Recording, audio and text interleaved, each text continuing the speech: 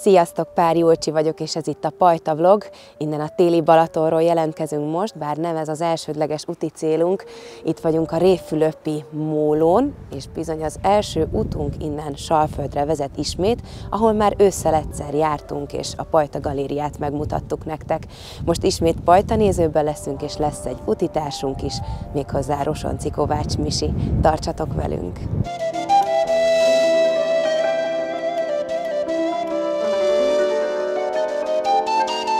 Nagyon örülök, Misi, hogy találkoztunk, és hogy körbevezetsz minket itt a Salföldi otthonodban. Mondhatjuk ezt, hogy ez is egy második otthonod? Mondhatjuk, másodiknak mindenképpen mondhatjuk. Én nagyon szeretem Budapestet, és egy csodaként élem meg, hogy a Margit híd Budai hídfőjénél lakhatok. De legalább ugyanekkor a csoda Salföld, és az itt Salföldet körülvevő természetkörnyezet, illetve Salföld épített környezete is, ami nagy részben egyébként az ide költöző Somogyi Győző Kossuth Díjas festőművésznek köszönhető, hogy ez a falu megmaradt, illetve visszaépült ilyen ö, csodálatosan szépnek és emberközelinek, és aztán ez, ez a környezet pedig ö, szívesen várt és vár ö, olyan művész embereket is, akiknek segítségével újra élettel töltődik meg ez a település. Igen, mert ezt az inspirációt, amit valószínűleg akkor ebből a gyönyörű épített és kialakított környezet által így te is magadba szívsz, azt törekszel átadni más művészek számára is, hiszen amellett, hogy lengyel-olasz politikai elemző vagy, népzenész, és még azért elég sok ö, ö, szakterület területen mozogsz otthonosan. Nem utolsó sorban te vagy a Salföldi Dalföld megálmodója, házigazdája, programgazdája. A Bíró Gombos Alapítvány kuratóriuma fogott össze néhányt egyébként az, az itt lakó sok művészből, és én vagyok a Salföldi Dalföld művészeti vezetője. Most már hetedik alkalommal rendezzük meg a fesztivált.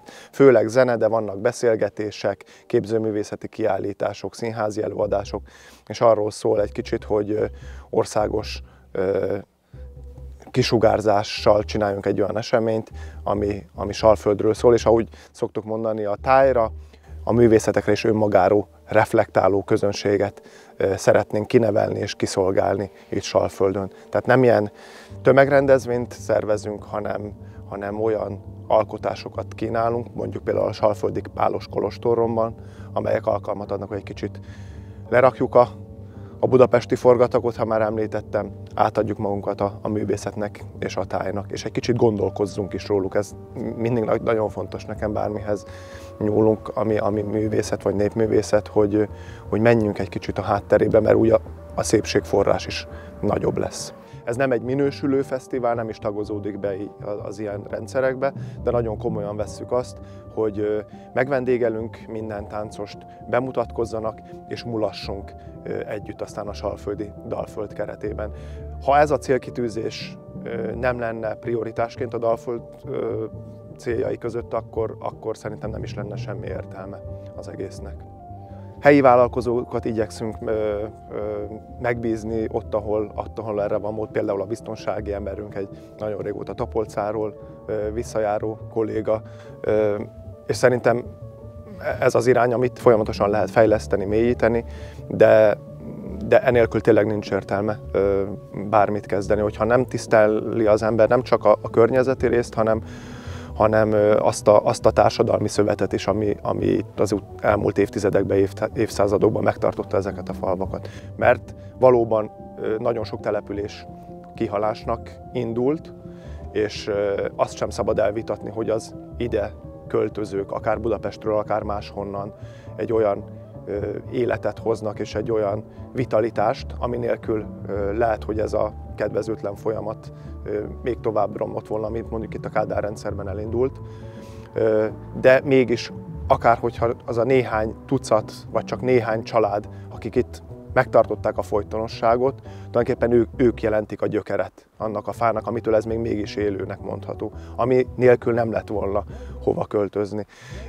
És, és ezért nagyon fontos, hogy ne ezt a kétféle embertípust ne, ne egymással szembe próbáljuk megfogni, akár kommunikációban, akár más módon, hanem már arra azt nézzük, hogy itt a 2020-as években hogyan lesz minél jobban működő egy közösség.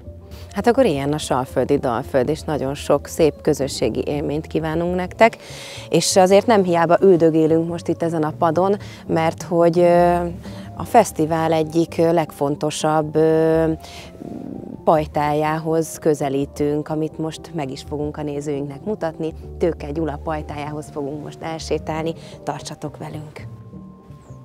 Gyula és felesége Orsi csatlakozása a Dalföldhöz most már így visszanézve azt mondhatom, hogy olyan jelentőségű volt, ami nélkül talán meg is szűnt volna a fesztivál, és egy olyan egyrészt infrastruktúrális löketet adott természetesen, mert már meglátjuk milyen szép a, a pajta, ahova megyünk, és tényleg a leg, hát a Kolostor mellett az egyik legsajátosabb és a legvarázslatosabb helyszín a Dalföldnek, de ennél is fontosabb az a lelki töltet, amit az ő megjelenésük adott a Dalföld csapatának. Úgyhogy alig várom, hogy megismerkedjetek. Én is. Szervusz Gyula, köszönjük, hogy Szervusztok. elfogadtad a meghívást, illetve köszönjük a vendéglátást, igen.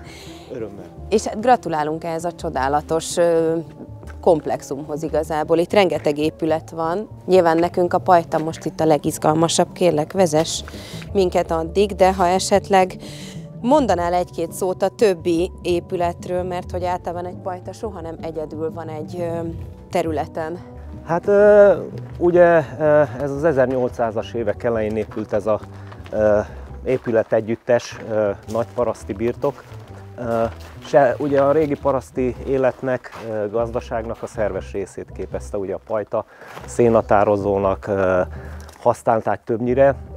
Az istállóépület az külön volt a pajtától, itt jelen esetben. Hát nyilván egy kicsit mi azért átalakítottuk, de az épületek nagy részét azt igyekeztünk megőrizni a, a, sőt, hát ugye inkább feltárni a múlt fényét. Tehát akkor lakóépület, istálló, ő most egy ilyen vendégházként működik? Így van, így van, ez egy, ez egy kis vendéglázat.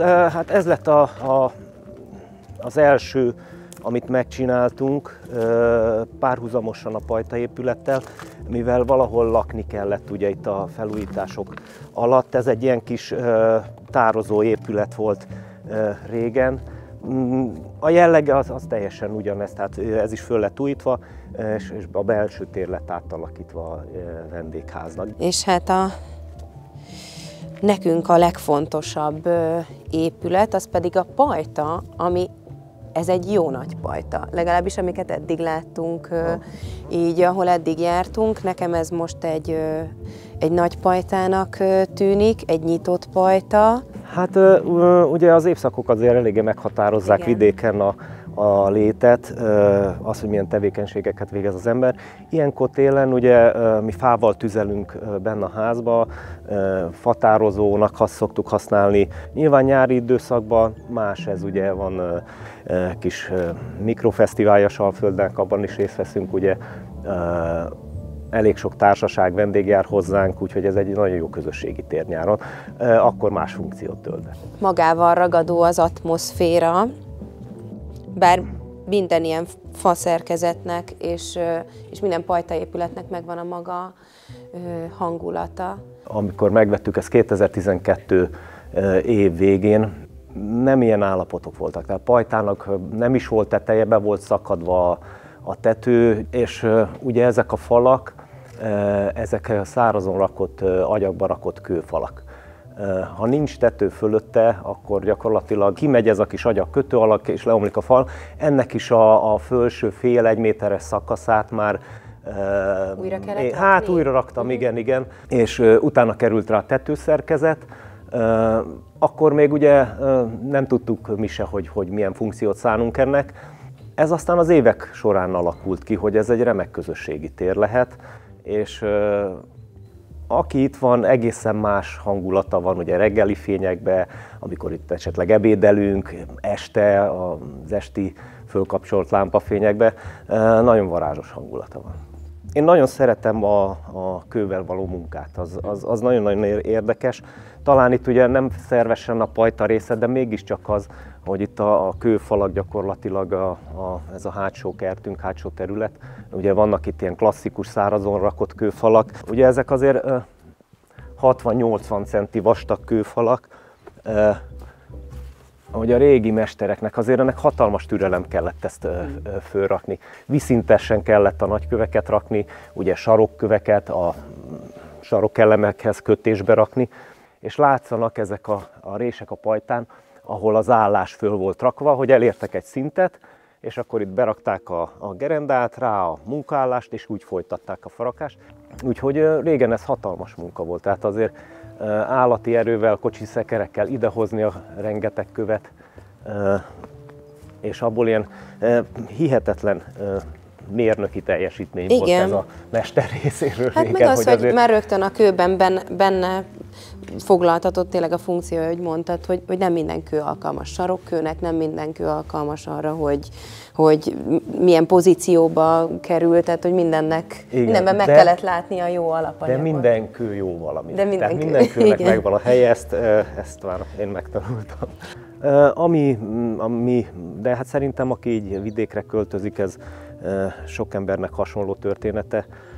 Van, sokat gondolkodtunk, hogy ugye itt azért a Balaton felvidéken, Káli medencében gyönyörű tájegységek vannak, és külterületen is vannak régi pincék, sőt nagyobb birtokok is, hogy faluba költözzünk, vagy esetleg domboldalba, de aztán most már biztos vagyok benne, hogy jól döntöttünk, hogy a falu mellett döntöttünk, mert az ember azért társas lény, és mi nagyon hálásak is voltunk, ez egy különleges falu, ugye, mert azt mondják, hogy nagyon sok a művészember itt Salföldön, de nagyon befogadó közösség. Nekem személy szerint, a páromnak is ez egy, ez egy nagyon felemelő érzés volt, hogy, hogy, hogy egy, egy új közösséghez kapcsolódni, ta, kapcsolódni tartozni. Lenni. Igen, igen. Nekünk ez nagyon fontos, hogy, hogy nem elszigetelten élünk itt a kőfalak között, hanem, hanem mégis egy falu közösségnek a részesei vagyunk. És uh, itt, itt nagyon aktív a közösségi uh, lét. Uh, meg kell mondjam, hogy jóval aktívabb, mint a, a, a városba. Ott is vannak nyilván programok, de itt sokkal jobban megérinti az embert a legkisebb közösségi összejövetel vagy rendezvény is.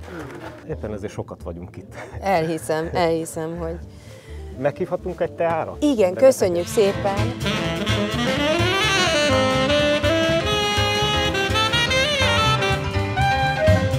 Salföldi teázásból végül egy Mincent Kálai forradborozás lett, hiszen itt most éppen egy új pajta felfedezésén dolgozunk.